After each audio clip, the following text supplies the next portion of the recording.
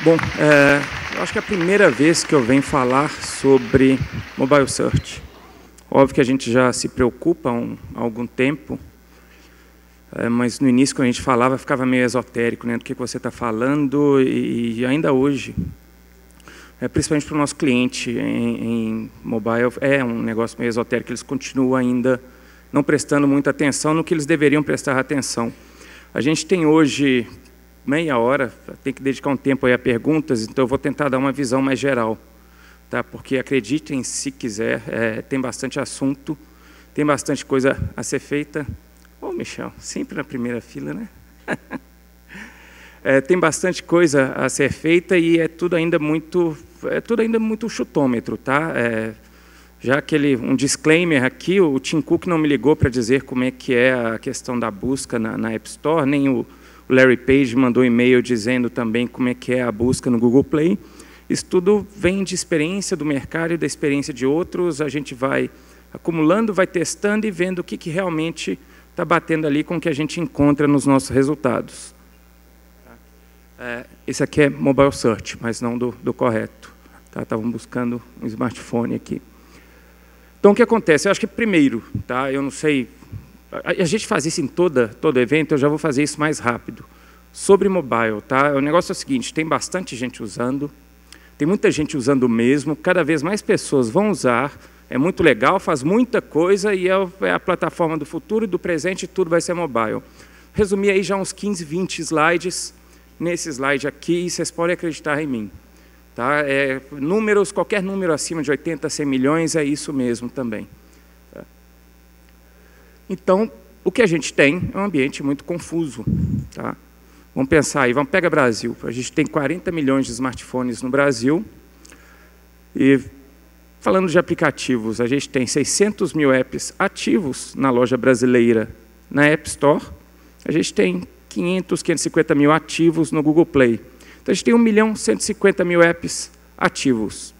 A gente tem 130 milhões de downloads todo mês nas duas lojas somadas. A questão é, quantos desses downloads, se alguém aqui tem um aplicativo, você está obtendo e o quanto você pode influenciar esses downloads. Tá? A gente tem também uma web móvel que hoje, aliás, isso é importante, ontem a Conscor publicou uma, uma informação, não sei quem viu, de que 3% dos acessos da internet vem de dispositivos móveis. Tá? Essa informação ela é incorreta é, conceitualmente. Tá? Por que, que ela é incorreta conceitualmente? Porque essa informação, na verdade, o que ela quer dizer é que 3% do, dos acessos à web desktop são feitos em dispositivos móveis. Então, essa informação ela não contabiliza os sites móveis, essa informação ela não contabiliza os acessos que o porventura venha fazer em aplicativos, então não é acesso à internet, é acesso à web desktop. Tá? O share não é nem 3%, acho que é 6% que ela divulgou. 3% era smartphone e outro 3% era de tablet. Tá? O, o share que a gente tem, se a gente quiser ter uma aproximação, é maior. Porque o Google, 30% das buscas dele, das buscas totais, já é realizada a partir de, do, dos smartphones ou tablets. Tá? Então, a, a chance da gente ter um share muito maior é considerável. Mesmo a Cisco divulgou um relatório recentemente que disse que hoje, mundo, 50% dos acessos à internet, aí sim a gente está contabilizando tudo, já são feitos a partir de dispositivos móveis. Tá? 50%, ou seja, metade tá? do share da internet, aí não da web apenas, é a soma de web móvel, web desktop e, e, e outros. Bom, e aí eu falei de apps, falei de site, eu, eu vou ter que ficar assim, porque eu, eu, gosto mais de mexer, de andar, mas isso até me incomoda aqui, fico trombando aqui. Tem? Melhor. Pronto. É, e aí eu falei de apps, falei de site, e não é apps ou site, isso é algo que eu gosto de, de reforçar, é apps e site. Tá, os dois servem a propósitos distintos. Tá, o driver de app, por que você vai fazer um app? É o driver do relacionamento, é o driver da experiência. Por que você vai fazer um mobile site? Bom, primeiro, porque já tem muita gente acessando o seu site do celular, do smartphone. Eu uso smartphone celular cambiante, tá? Eu estou desconsiderando os, os, antigos que em algum momento eles vão para lixeiro, para reciclagem, em algum momento vai ser tudo. O smartphone vai ter a mesma capacidade, então é Eu uso de um modo intercambiante, intercambiante aqui. Então, o acesso ao mobile site é um acesso que é feito com o objetivo imediato, com o objetivo de uma obtenção de informação, da realização de uma tarefa, ou mesmo de passar o tempo, mas o objetivo é imediato. Eu acessei, fiz o que eu queria fazer, saí. Né? Então, ele tem um driver diferente, ele tem um mindset diferente e ele é complementar ao app, e vice-versa. São dois uh, objetivos de uso diferentes. O que, que isso significa? Significa que mobile search não é apenas SEO, não é apenas o Search Engine Optimization, é também termo novo, ASO, que se você falar muito rápido fica esquisito. Então, é ASO, né? App, Store App Store Optimization, ou seja, como é que eu otimizo a presença do meu aplicativo nas App Stores. Essa é a parte mais esotérica de todas, é a parte onde realmente a gente está caminhando e tentando entender. Tá? É, o SEO ele tem os fundamentos semelhantes, na verdade, são os mesmos fundamentos do que a gente já pratica na, na web desktop, porém, por ser mobile, por se tratar do acesso em dispositivos móveis, por se tratar de um acesso onde o objetivo de uso, o contexto é diferente, ele acaba é, necessitando de né, pequenos é, tweaks ali, modificações, pequenas mudanças para que ele possa ser feito da melhor forma. Tá? Então vamos lá, SEO. Vou começar com a mobile web, essa é a parte mais rápida.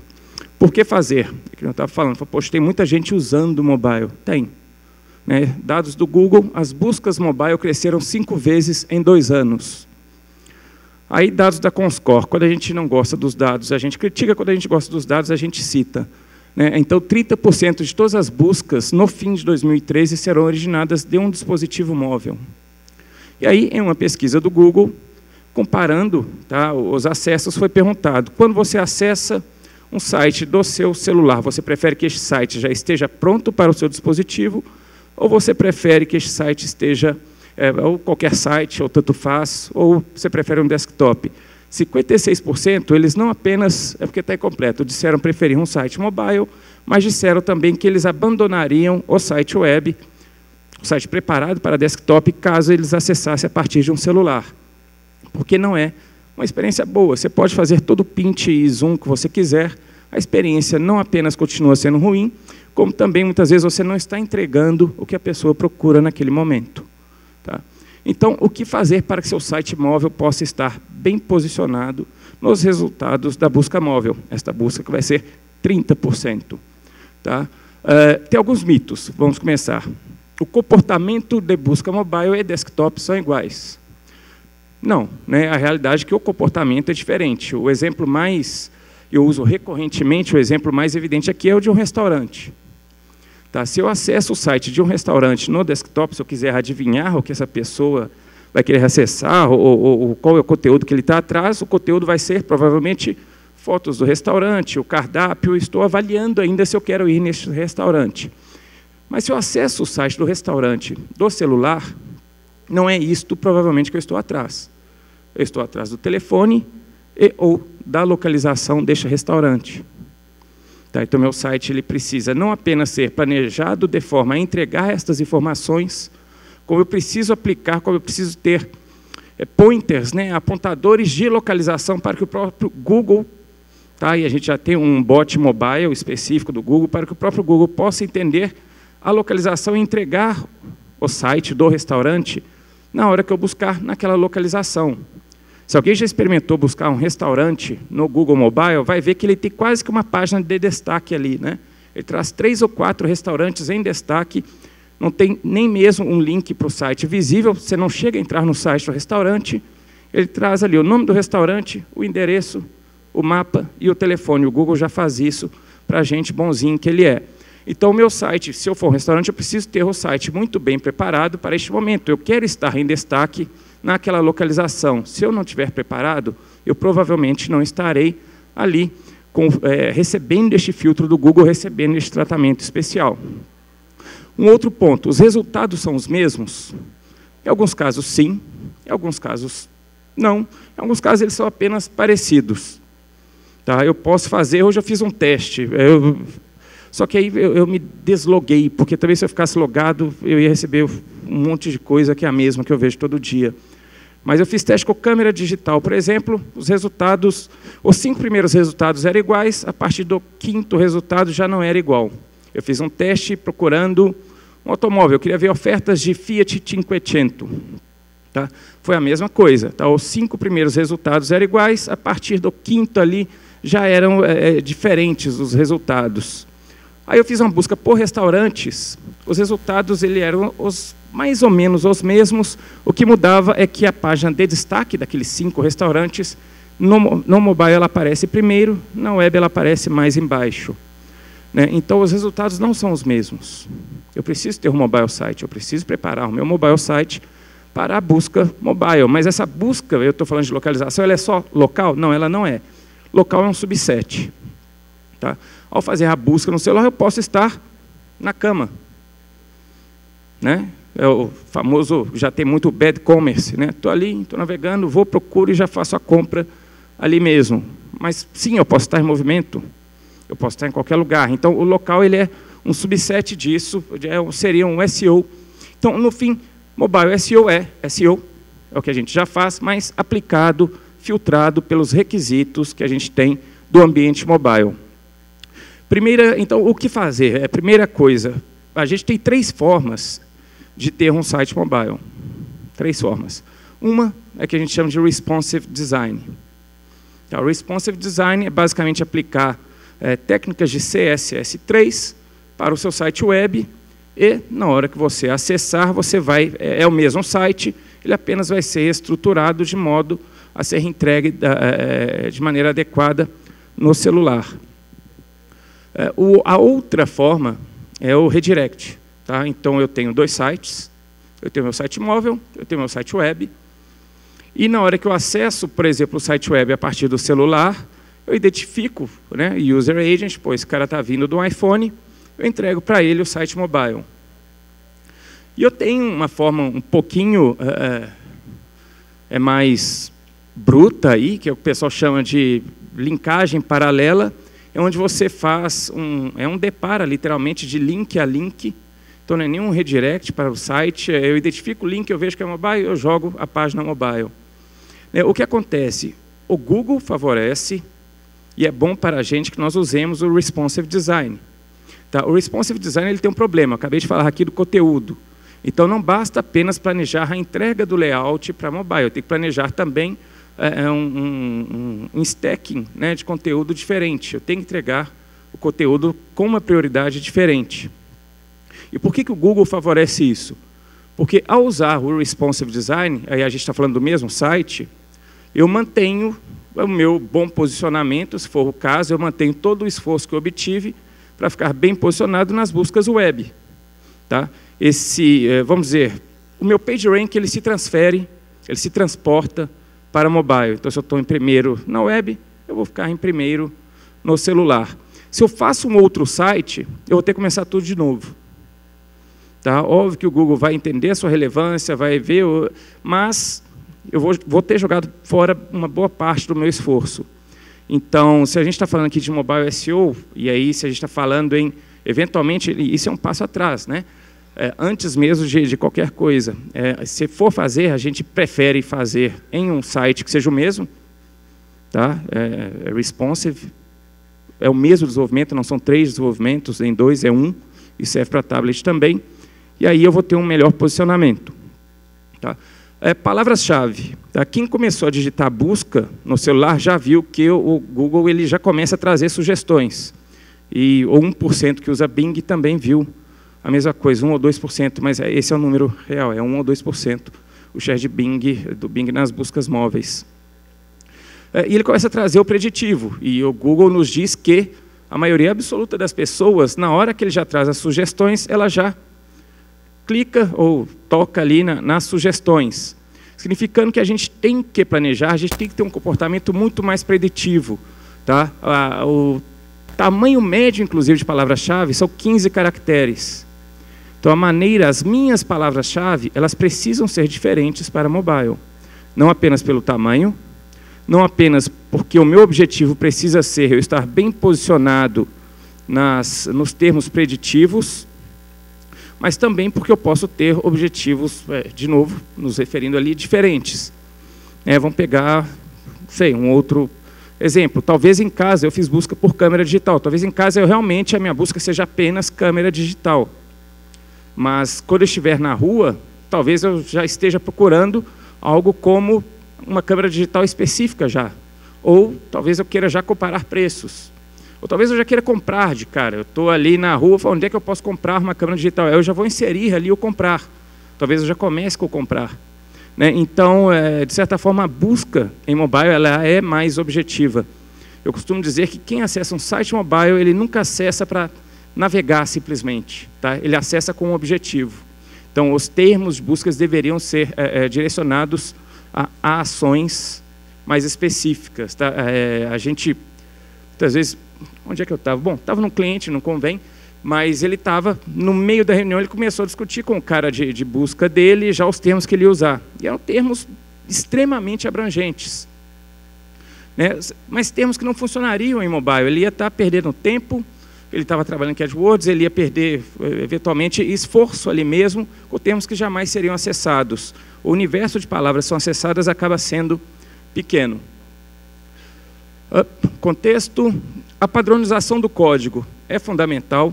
Então, você vai no Google, você vai no W3C, tá, todos lá estão guidelines de como se fazer um site mobile.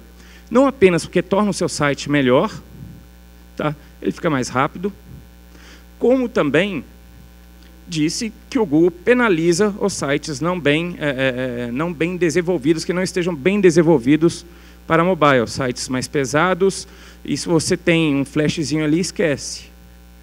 Tá? E esquece para sempre, né? não vai ter. Um dia já se discutiu sobre isso, mas não vai ter, não adianta, não vai nunca ter flash em mobile, graças a Deus. Porque, na melhor das razões, é porque pelo menos poupa o tempo de bateria ali.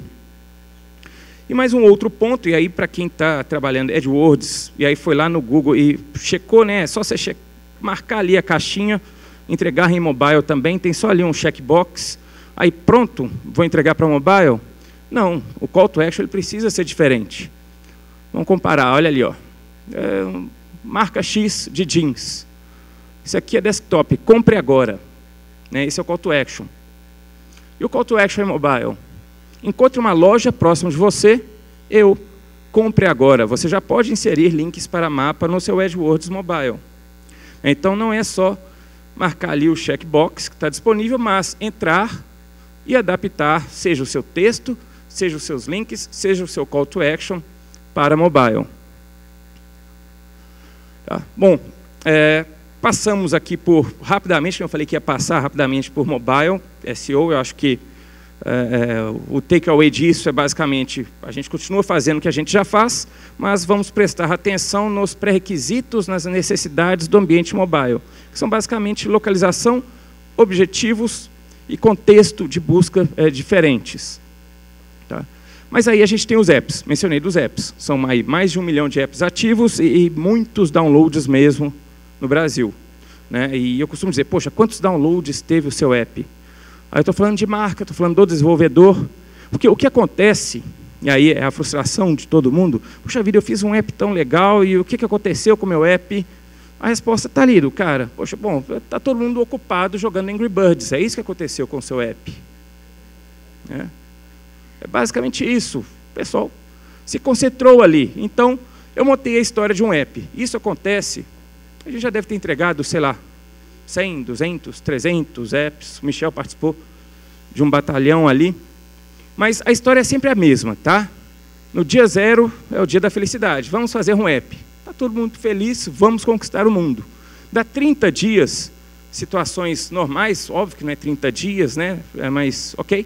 30 dias é o que a gente vendeu. Dá 30 dias, está ficando lindo, né? Poxa, esse app vai ser um sucesso. Deu 60, foi aprovado. É outra mentira, né? 60 é o que a gente vendeu, mas ok. Vamos lá, que foi entregue em 60 dias e foi aprovado.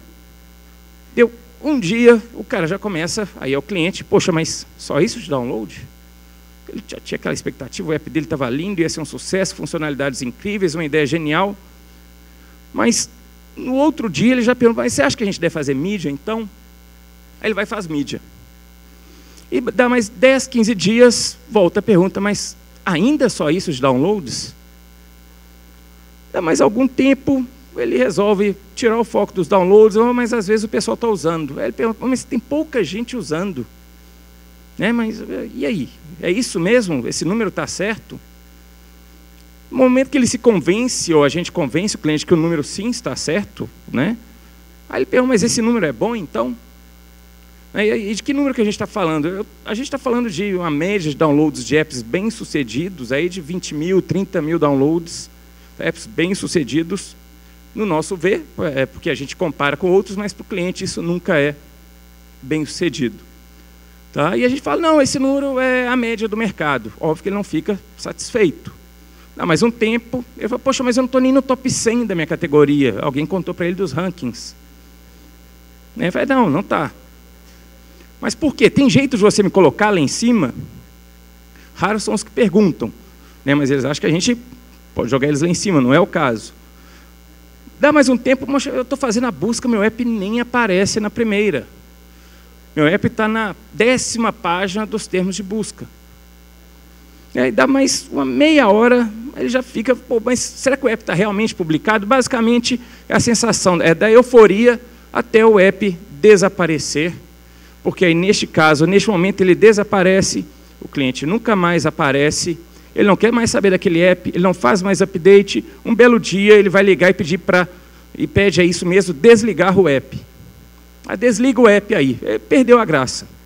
Né? Foi um dinheiro jogado fora, foi um esforço jogado fora, porque partiu-se da, da, daquela mesma ilusão que a gente, toda vez que aparece uma tecnologia nova, a gente tem que é, ah, isso é muito legal, vamos fazer que todo mundo vai usar. Não é assim que acontece. Tá? Então, primeiro ponto, tá? ASO, ASO, sem nenhum. ASO fica ASO mesmo, não é só busca. Tá? ASO também é o ranking dos apps nas lojas. Tá? 85% dos downloads provém de uma combinação entre rankings e busca. Tá? Na App Store, ou seja, na loja de apps iOS, o ranking ele é mais relevante. Tá? Ele corresponde a 63% dos downloads. Que ranking é esse? São os top charts, são os top 25, os top 50, principalmente os top 50 gerais, e depois os top 25 nas categorias. Tá? Essa é a maior origem de downloads. Se você não está no ranking, você já era. Já no Google Play, a origem, a, principal origem vem da busca, o que era de se esperar, né? Mas, de qualquer maneira, a gente pode chamar isso, entre aspas, de orgânicos. 85% dos downloads são orgânicos. Tá? Então, como que a gente faz para promover? Como que a gente faz? Eu sendo um app em um milhão, como é que eu faço para ter presença? Primeiro, relevante na busca. Segundo, relevante no ranking. E uma coisa alimenta a outra. Tá? A gente vai ver ali que os meus resultados no ranking vão influenciar o meu posicionamento na busca, que obviamente, por sua vez, vai influenciar meus downloads e minha presença no ranking. A gente está falando, então, em termos de app, isso que está aí é o que eu chamo de ciclo de vida do usuário de um app. Tá? A gente tem cinco obstáculos com o aplicativo. Primeiro obstáculo é o desconhecimento. Ninguém sabe que você existe. Como é que eu faço para ser conhecido? Eu tenho a opção de mídia, eu tenho a opção de ficar bem posicionado na busca. Tá? Fui conhecido, mas eu preciso que a pessoa queira fazer o download. Eu preciso ser interessante, porque preciso haver o download, porque com o download eu fico bem no ranking, que por sua vez, estando bem no ranking, eu passo a ficar bem também na busca. Tá? Então é a questão do interesse. Então, quando a gente fala de App Store Optimization, a gente está trabalhando com o desconhecimento e com interesse. É, a gente vai ver também que o uso influencia. Só que aí é um trabalho que acaba tendo que ser um trabalho conjunto, né? Aí acaba sendo um trabalho do planejador, do, do, do, do cara de arquitetura. Então, em termos de busca, há diferenças entre a forma como a Apple e o Google trabalham os resultados. Tá? Há diferença nos fatores que eles dão mais peso, mas há alguns fatores que são comuns. Quais são esses fatores? Palavras-chave.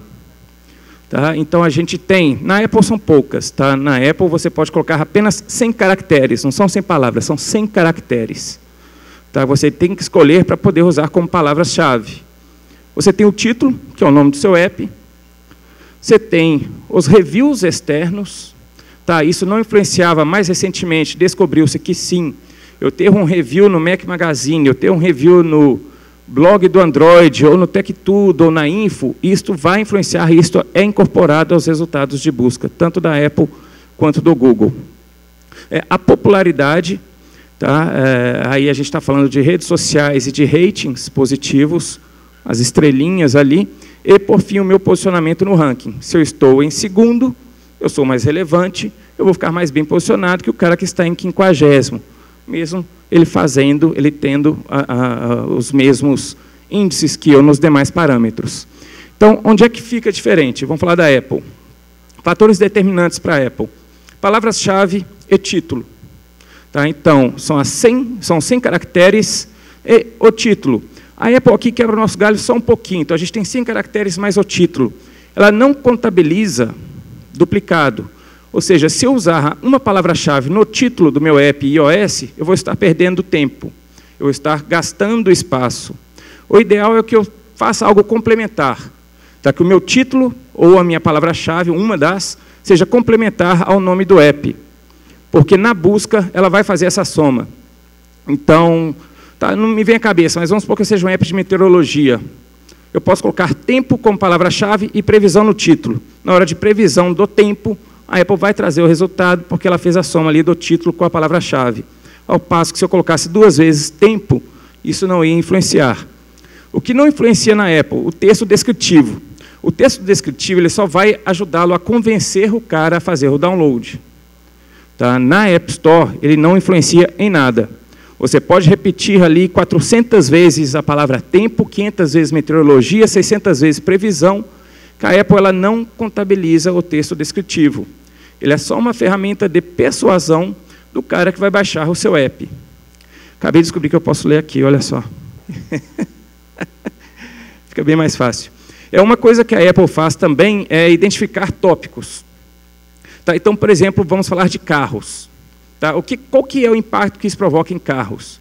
Se a Apple não identificasse carros, e eu fosse um app do mercado automotivo, de venda de veículos, a chance de eu ficar abaixo de um app de corridas era muito grande.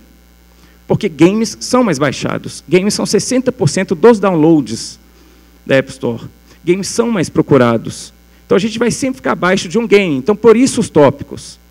Então quando a Apple identifica carros, não, carros não pertencem a games, apesar de eu, ter um games de corrida. Carros é mais relevante para apps relacionados ao mercado automotivo. Então isso também vai influenciar no meu resultado de busca, e essa identificação de tópicos ela faz a partir das minhas palavras-chave e da minha presença externa. Um outro ponto, todo mundo, quem acessou a, a App Store nova, quer? Mostrou alguma coisa aqui. Ah, Tá vendo? Eu falo muito. A presença, vou ter que acelerar. A presença dos likes, ela tem uma função, tá? A gente viu que tem ali o Facebook e, e dá um like ali. Ou seja, usa o Open Graph do Facebook para poder potencializar, turbinar a sua presença, no, tanto no ranking quanto na busca. A posição no ranking na Apple já influenciou, influencia menos hoje em dia. Os reviews externos são levados em consideração, ratings têm peso forte e há impactos negativos. A Apple e o Google fizeram isso para poder diminuir a manipulação de resultados. O que, que é? O que, que significa isso? Se eu comprar downloads, e tem gente que vende download, se ele não for qualificado, pode ser que a pessoa delete ali rapidamente, pode ser que a pessoa não use. O ato de deletar o app e a pouca frequência de uso, elas contam negativamente tanto nos resultados de busca, quanto nos rankings dos apps, tanto para Apple quanto para Google. Tá? É uma fórmula, eu acho que eu posso distribuir depois, essa é a fórmula que o mercado usa para o ranking da Apple, que é a média ponderada de downloads dos últimos quatro dias, mas a média ponderada das últimas quatro horas, e tem a velocidade do download, mais os ratings, mais o engajamento. Ou seja, quantidade de downloads, velocidade de downloads, qualidade e popularidade. Tá? Como influenciar os downloads? Trabalha bem o seu texto descritivo, dá uma mexidinha na palavra-chave, no título, seja convincente no seu texto de apresentação, faça um PR, um PR forte ali, que você vai ter é, provavelmente um bom resultado, claro, partindo do princípio de que o seu app é legal mesmo. No caso do da Apple, aí como não influenciar, aí serve para Apple e Google, não compre downloads, não utilize técnicas de download incentivado, baixe esse app que você vai ganhar algo ali na frente. Isso eles acabam penalizando em algum momento. Atenção na Apple é que ela agora apresenta os resultados de busca dela um por vez. Né? São os cards. Isso significa que a busca é ainda mais importante. Porque a pessoa ela não tem mais uma lista para olhar os apps que foram resultados, mas ela vai ver apenas um resultado por vez. Impacto disso, impacto dessa fórmula da Apple em mídia, para quem for comprar em mídia, é nunca espalhe o seu investimento de mídia em downloads de aplicativos ao longo do tempo.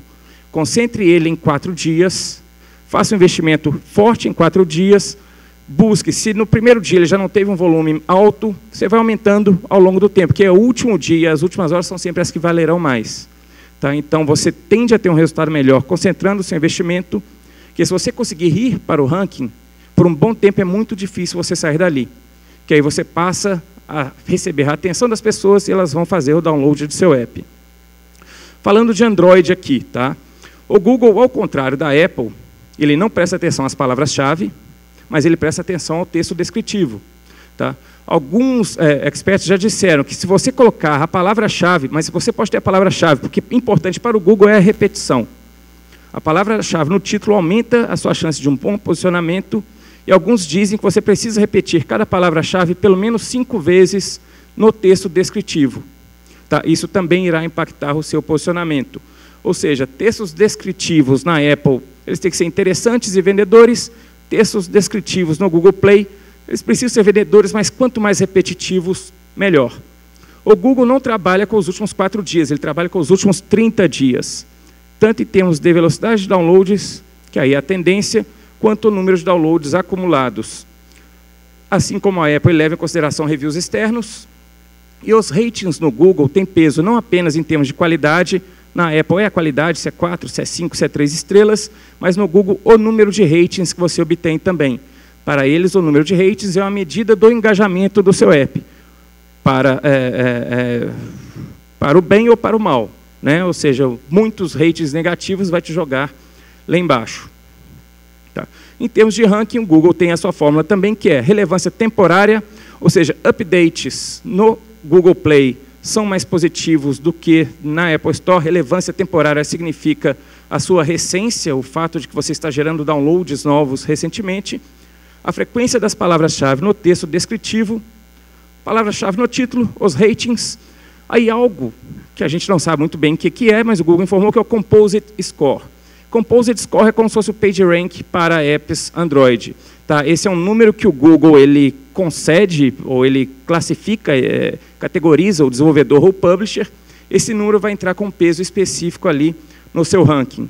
Mas as instalações ativas, ou seja, pessoas que estão utilizando. Como é que influencia os downloads no Google? Tá? Da mesma forma que a Apple, mas eu, eu colocaria duas coisas aqui. No Google eu posso usar o YouTube eu posso colocar um vídeo do YouTube ali para poder vender o meu app. Isso acaba tornando a apresentação dele mais atraente. Se a gente puder fazer uma demo, melhor ainda. Tá? E tem uma estratégia de updates clara. Tá? A cada novo update, a cada vez que você torna o seu app mais novo, e aí eu não estou falando só de colocar um bug fixes ali, né? ou ajustes, mas realmente tornar o seu app algo fresco, isso ele vai é, computar positivamente para o Google. Tá? Atenção é que... Não, já falei do Composite Score. Ferramentas, tá, gente? Ferramentas para SEO, no mesmo lugar que você encontra as ferramentas que o Google disponibiliza para desktop, você vai encontrar as ferramentas para mobile. Tá? No caso de App Store Optimization, você tem esses quatro sites, tá? Mobile Dev HQ, é só colocar um ponto .com depois de todo mundo aí. É o Mopep, Searchman SEO tá? e o App Codes. A gente tem outros também, mas esses quatro estão fazendo um trabalho legal em termos de como você trabalhar a sua visibilidade, e é só a isso que eles têm acesso mesmo, sua visibilidade nas lojas. O Mopep ele só trabalha com iOS, o Mobile Dev HQ ele já trabalha com os dois. Tá? É, ferramentas hoje, ferramentas mesmo, para mobile, o Google Analytics é o, o, o, o mais confiável em mobile, por muito tempo a gente não teve um analytics confiável para mobile. Eu diria que o Google Analytics ainda não é 100%, ainda tem algumas coisas que nos deixam satisfeitos, mas é bom. O Google Analytics para apps está melhorando, mas a ferramenta padrão ainda do mercado é o Flurry. Tá? F-L-U-R-R-Y. Tá? Com ele você vai obter assim, quase todos os dados é, necessários para trabalhar bem o seu app. Tá? De usuários ativos à retenção ao longo do tempo. Tá? Basicamente, é isso. Eu achei que é que eu falei, eu falo, acabo falando muito, saindo assim. Tá? É, dúvidas, imagino que deva haver.